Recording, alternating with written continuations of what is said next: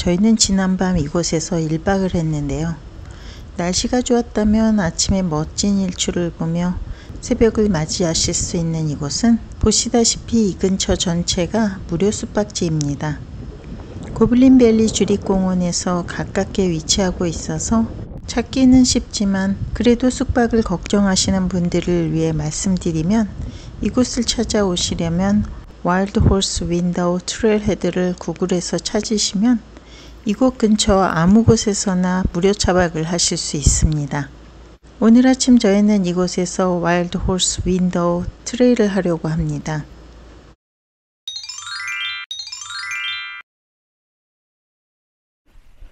아, 저희는 이 대자연에서 자고 일어나서 저쪽 앞으로 차 두 대가 보이는 게 그 중에 한 대가 저희 차입니다. 이곳에서 하룻밤을 보냈고 trail을 하고 있는데요. 아, 이곳의 뷰가 정말 저 산이 너무너무 멋집니다. 아직도 설산이고 확실히 높아서 정말 멋있습니다. 그리고 지금 제가 볼 때는 저희 trail 코스가 아마 저쪽에 있는 구멍까지 가는 게 아닐까 싶어요. 어제 온 비로 인해서 바닥에 모래가 이렇게 쓸려져 있는 게 보입니다. 예술 작품 같습니다. 와, 어제 잘때 어, 추울 것 같아서 어, 등하고 배에다가 핫팩을 붙이고 잤거든요. 그래서 몸은 정말 따뜻하게 잤는데 와 양말을 안 신고 잤더니 발이 시려서 깼어요. 근데 핫팩이 12시간 지속이라서 아직도 하고 있는데 이게 12시간이 아니라 제가 볼 때 조금 더 오래 가는 것 같은데 어쨌든 아직도 너무 더워서 이 핫팩 때문에 어휴 핫팩을 그냥 남아있는 게 아깝긴 해도 띄어야 될 것 같습니다. 떼지 않으면 도저히 걸을 수가 없어요. 더워서. 제 남편은 저쪽으로 가는 거라고 하고요. 저는 이쪽에 흙이 없으니까 이쪽으로 가는 거라고 하고 그래서 누가 이기나 한번 해보겠습니다.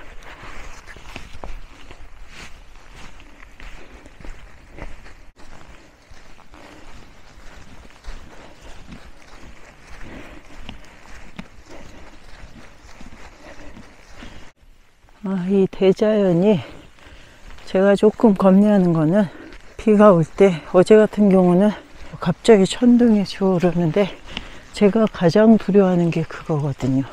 정말 미소부에 와서 보시면 저 앞에도 있지만 번개 맞은 나무들이 많습니다.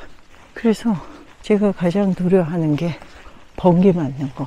그래서 나무 옆으로는 될 수 있으면 지나가지 않고 어제 피해서 도망을 쳤는데 혹시라도 대자연에 오셨다가 저기 하신 분들은 될 수 있으면 나무는 특히 비 오는 날 천둥 번개 칠 때는 나무는 피해서 다니십시오. 안 그러면 번개 맞을 가능성 정말 높습니다.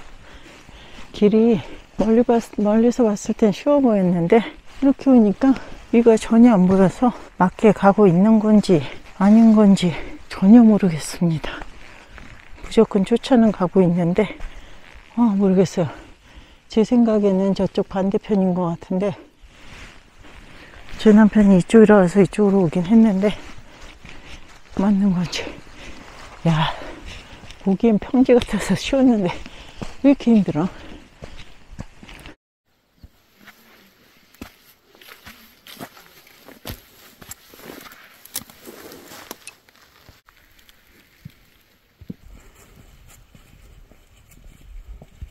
이것이 오다 보면 정말 다 돌길이어서 밑에서 보기에는 쉽게 올라올 수 있을 것 같았는데 길이 안 보여요. 가끔씩 그나마 사람들이 이렇게 돌탑을 쌓아놓은 게 보여서 그걸 찾아서 올라가고 있거든요. 전혀 저희가 밑에서 봤던 그런 모양이 아니어서 정말 찾기가 힘듭니다. 저기 저 설산의 모습이 안 보일 수 있는 가능성이 이제 또 보이기 시작합니다. 먹구름이 또 이렇게 몰려오고 있어요. 우리 쪽으로 몰려오고 있는 건지 모르겠지만 제 남편도 다른 사람들을 위해서 돌멩이를 쌓아주고 있습니다. 그래야 저희처럼 초보인 사람들은 쉽게 지나갈 수가 있거든요.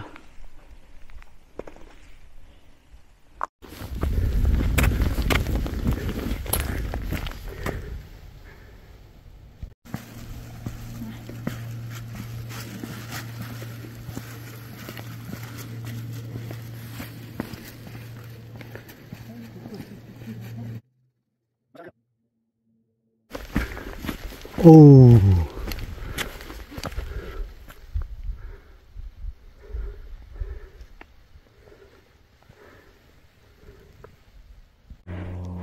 워낙은 저 밑으로 해서 이렇게 왔었어야 되는데 저희가 잘못 들어와서 지금 저희는 꼭대기 와 있거든요. 근데 꼭대기에서 어우 꼭대기에서도 잘 보여요. 대신 저 안으로 가보지 못한다는 건데 이렇습니다. 어우 완전히 여기- 여기도 엄청 웅장합니다. Oh,